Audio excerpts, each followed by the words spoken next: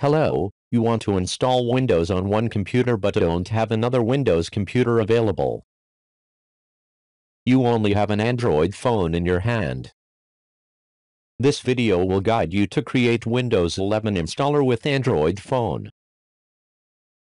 If you don't have a USB Type-C drive you need an adapter like the one above.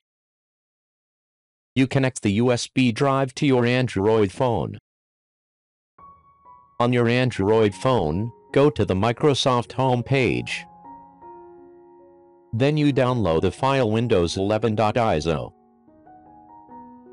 And here is the file after it is downloaded, it is stored on the Android phone. Next you download the application called Ultimate USB on Google Play.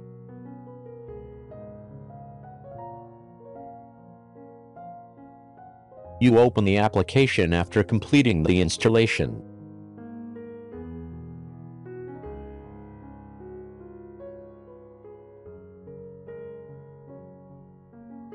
The application automatically detects your USB drive.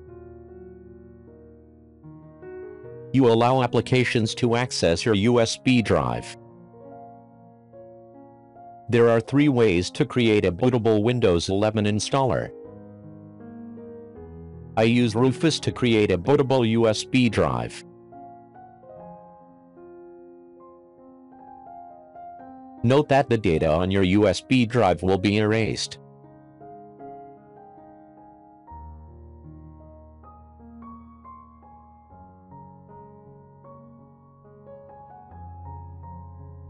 So you watch ads on this app to get coins.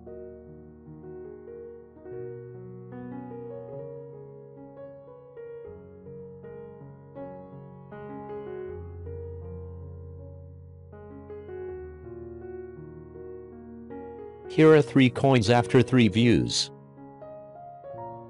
I use them to create a Windows 11 installer. You browse to the file named Windows 11.iso and click Start to create the bootable installer.